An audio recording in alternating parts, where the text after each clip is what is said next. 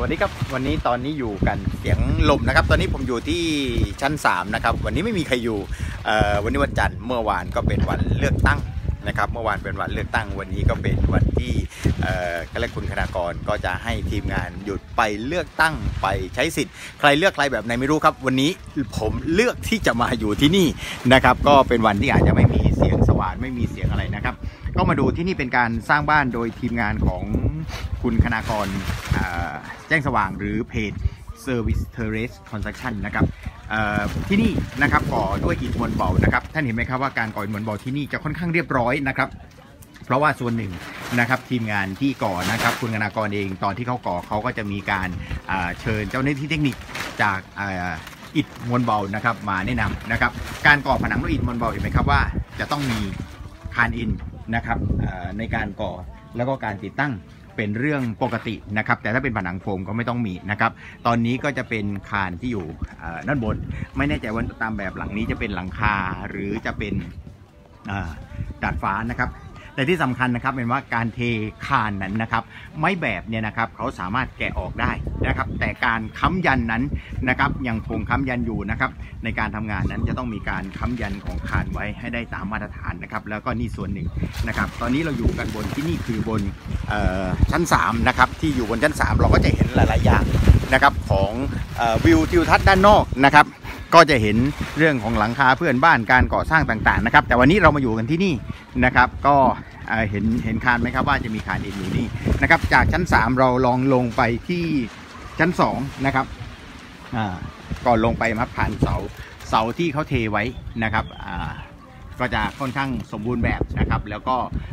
ที่ผ่านมาก็จะมีการบ่มคอนกรีตให้เห็นชัดนะครับว่าการบ่มคอนกรีตนั้นนะครับนี่ครับไอ้น้ำก็จะอยู่แบบนี้นะครับ แต่นี่คือผ่านการบ่มเรียบร้อยแล้วนะครับ ก็แต่ก็ไม่ได้ยังไม่ได้แกะออกนะครับ จากชั้น 3 เราก็จะลงไปที่ชั้น2นะครับวันนี้ผมก็มาแบบเต็มเต็มสูตรนะครับมี หมวกเพื่อความปลอดภัยครับเวลาเดินบางทีมัวแต่ไลฟ์อยู่นะครับเดี๋ยวเกิดไม่ใส่หมวกนะครับ ก็อันตรายนี่ก็หมวกเพื่อความปลอดภัยนะครับ รองเท้าขออนุญาตนะครับไม่ได้ว่ากันนะครับ รองเท้าผมก็สมบูรณ์แบบนะครับรองเท้า safety ไม่ใส่เดี๋ยวพี่สุดใจสุดติงกระดิ่งไก่จะว่าเอาเพราะว่าแกอุตส่าห์พาไปซื้อรองเท้าที่เป็นมาตรฐานนะครับ นี่ก็คือส่วนหนึ่งของอ่าอิฐมวลเบานะครับ ที่เตรียมไว้ก่อที่นี่ พื้นที่นี่นะครับอ่อพื้นที่นี่ก็จะเป็น วางแผ่นพื้นสำเร็จรูปนะครับนี่ครับเป็นวางแผ่นพื้นสำเร็จรูป ซึ่งเป็นแผ่นพื้นที่ได้มาตรฐาน เพราะคุณคณากรส่วนใหญ่ก็จะใช้แผ่นพื้นแบบนี้วางนะครับ ตรงจุดไหนที่เป็นห้องน้ำนะครับ หรือเป็นจุดที่จะมีการมีโอกาสรั่วซึมนะครับเขาก็จะใช้เป็นการหล่อในที่นะครับแล้วแต่แล้วแต่จุดนะครับเขาก็จะมีเตรียมไว้ในการทำเป็นห้องน้ำหรือว่าบริเวณโซนไหนที่เป็นห้องน้ำนะครับ ก็จะเป็นแบบหล่อในที่ของแต่ละจุด แล้วก็จะมีการเท่าทำระบบ รองรับไว้นะครับ ซึ่งหลังนี้ผมอาจจะจำจำแบบไม่ได้นะครับ แต่นี่คือในส่วนของชั้น2ใช่ไหมครับ การค้ำยันต่างๆนั้นก็จะยังคงอยู่ก่อนนะครับเขาจะไม่ไม่รื้อออกนะครับ จากชั้นสามลงมาชั้น2นะครับ เดี๋ยวเราลงไปชั้นหนึ่งนะครับ ลงไปที่ชั้นหนึ่งนะครับ บ้านหลังนี้ก็จะยกค่อนข้างสูงนะครับ อืมนะครับ วันนี้ทีมงานก็น่าจะไปเเลือกตั้งกันนะครับ นี่ก็ปิดนะครับ แต่ละส่วนก็จะมีการปิดหรือการกั้นไว้อยู่นะครับ ในแต่ละส่วนของทีมงานนะครับ นี่ไม้แบะนะครับ นี่ก็ทั้งหมดแคมป์คนงานก็จะอยู่ที่นี่กันนะครับ พี่นิดก็จะเป็นคนอ ดูแลการก่อสร้างที่นี่นะครับเผื่อใครที่สนใจนะครับวันนี้นะครับก็พอมาดูแบบหอมปากหอมคอนะครับกับผมสัญชัยขนานช่างรู้คู่บ้าน